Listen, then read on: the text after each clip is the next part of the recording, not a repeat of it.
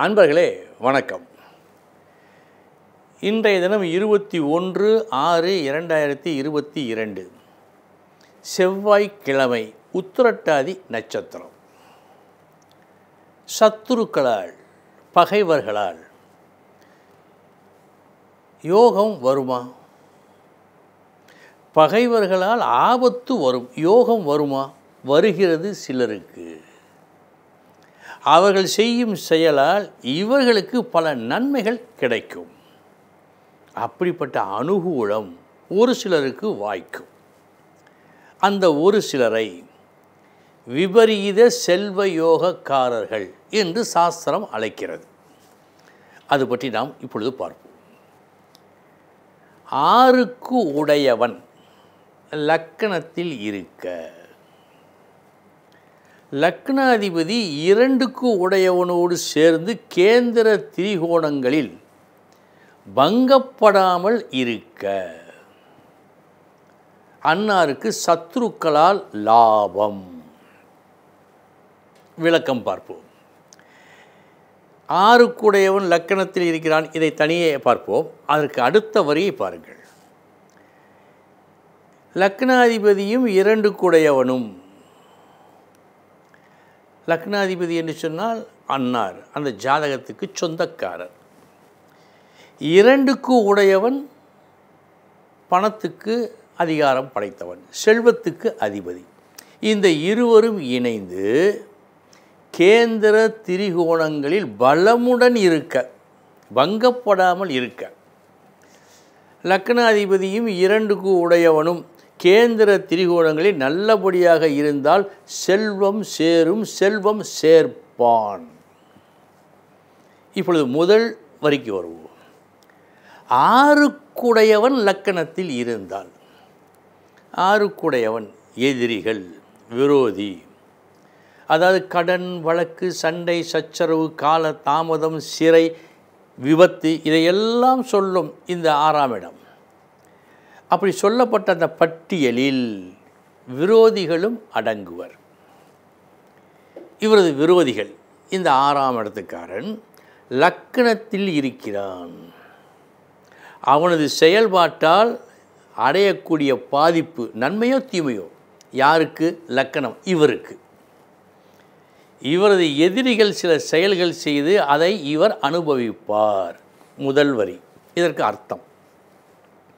இரண்டாவது வரி லக்னாதிபதியும் இரண்டு குடையவனும் இணைந்து கேந்திர திரிகோணங்களில் வலுவுடன் பங்கப்படாமல் இருந்தால் செல்வம் சேர வேண்டும். அப்படி என்றால் இந்த செல்வம் எப்படி சேரும்? இந்த ஆறுக்குடையவனால் சேரும். இப்படியும் சில விதி அமைப்புகள் உண்டு. ஆக இது போன்ற ஒரு அமைப்பு இருக்கும் என்று சொன்னால் நமக்கு வேண்டாதவர்கள் செய்யும் செயலால் நமக்கு நன்மைகள் உண்டாகும். இதை விபரீத செல்வ யோகம் என்று சொல்லுவார்கள். அன்பர்களே சில நுணுக்கமான விஷயங்களை பார்த்து கொண்டே வருகிறோம். அப்படி பார்த்து கொண்டு வரும்போது இதுவும் அதில் அடங்குகிறது. இனி பனிரெண்டு ராசிகளுக்கு உண்டான பலன்களை பார்ப்போம்.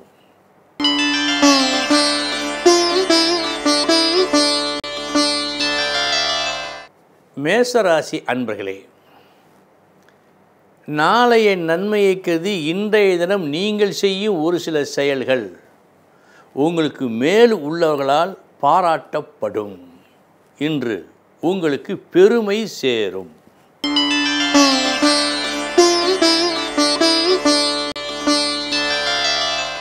ரிஷபராசி அன்பர்களே லாபம் உண்டு.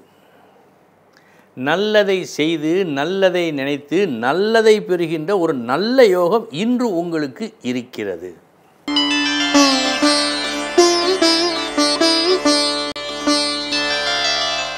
மிதுன ராசி அன்பர்களே தீமையும் நன்மையும் கலந்த நாள் இந்த நாள். முதற்பாதி நீங்கள் எதை செய்தாலும் அதில் ஒரு குறையை காண்பார்கள் சுற்றி இருப்பவர்கள். மறுபாதி நீங்கள் செய்ததெல்லாம் செய்வதெல்லாம் மிக நன்றாக இருக்கிறது என்று போற்றி புகழ்வார்கள்.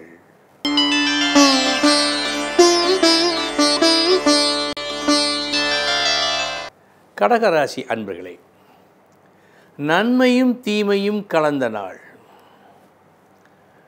முதற்பாதி உங்களை வானுயர புகழ்வார்கள்.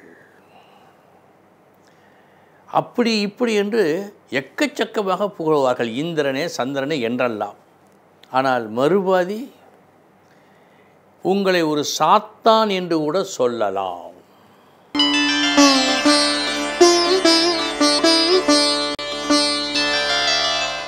சிம்மராசி அன்பர்களே தீமையும் நன்மையும் கலந்த நாள் இந்த நாள். எதை எப்படி செய்வதென்று சரிவர புரியாமல் ஒரு செயலை செய்து அதனால் சில நஷ்டங்களை முதற்பாதியில் அனுபவிப்பீர்கள்.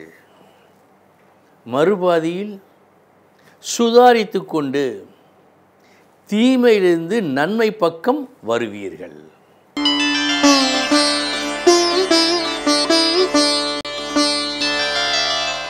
கன்னிராசி அன்பர்களே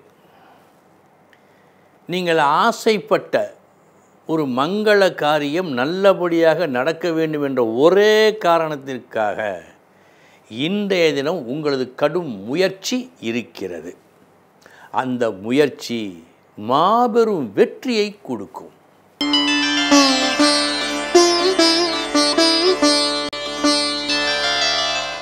துலாம் ராசி அன்பர்களே எளிதில் யாராலும் முடிக்க முடியா ஒரு பணியினை. இன்றைய தினம் நீங்கள் முதல் முறையிலேயே முடிப்பீர்கள். இதற்கு காரணம் நீங்கள் பெற்றிருக்கும் அனுபவம்.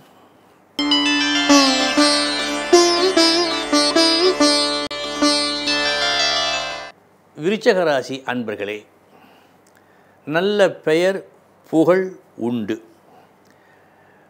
முயற்சியுடன் ஒரு வேலையை செய்து அதில் திறமையையும் ஊட்டி வெற்றி பெற்ற காரணத்தால் இன்றைய தினம் உங்களுக்கு சிறப்பு.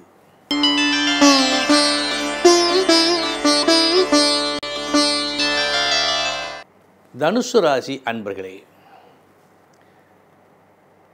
இன்று நீங்கள் உங்களுடைய முழு வித்தை திறமையை காட்ட அந்த திறமையில் சில சந்தேகங்களை ஒரு சிலர் உங்களிடம் கேட்க பதில் சொல்ல முடியாமல் நீங்கள் திணறும் நாளாக காட்டுகிறது கவனம்.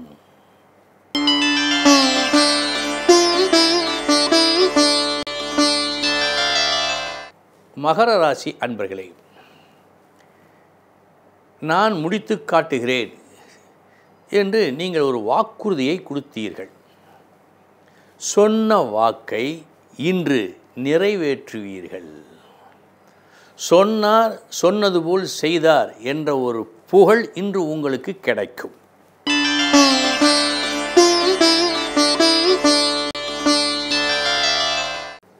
கும்பராசி அன்பர்களே நாளைய தினம் இந்த அளவுக்கு செல்வம் பணம் நமக்கு வேண்டும். அதை எப்படியாவது நாம் சம்பாதிக்க வேண்டும் என்ற உங்கள் எண்ணம். இன்று நிறைவேறும்.